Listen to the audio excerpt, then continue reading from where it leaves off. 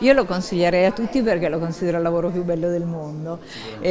Eh, oggi non è più remunerato come una volta, insomma, almeno nel... Credo che il giornalismo abbia avuto tante fasi in cui non è stato remunerato bene per niente, però eh, voglio dire i lavori sono tutti complessi, se uno sente di avere questa passione specifica lo deve fare, poi come tutte le cose della vita può essere più complessa di altre, ma seguire le proprie passioni ha ancora un senso credo.